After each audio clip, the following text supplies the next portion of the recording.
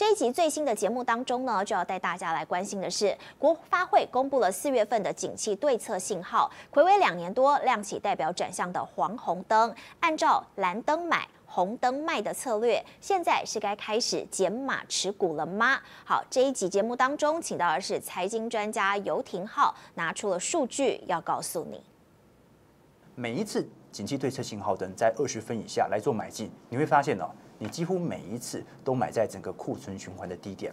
上一次景气信号灯蓝灯是什么时候啊？二二年的十月开始。再上一次呢是二零二零年新冠疫情。再上一次呢，二零一八年美洲贸易战。再上一次呢，二零一五年上证股灾；再上一次呢，二零一一年欧债危机；再上一次呢，零八年金融海啸。你有没有发现，只要每次看到蓝灯，都有一个重点库存循环的底部事件，所以大家就开始担心。那现在已经黄红灯了，我是不是至少要准备减码，准备要离开这个市场了？别人恐惧我贪婪，别人贪婪我恐惧嘛。可是我们也要想。会不会大家都已经知道这件事情了？哎，我预判你的预判，我跑得比你更快。嗯，那我个人认为啊，现在多数人呐，大部分的做法是哦，才刚刚买股票，刚刚买股票就已经遇到黄红灯了，决定那我就先走一趟。这个是我认为现在看到的主流思维。你认为接下来到红灯，难道不会红灯高档钝化吗？难道不会有景气好第一个月，景气大好第二个月，景气大好第三个月吗？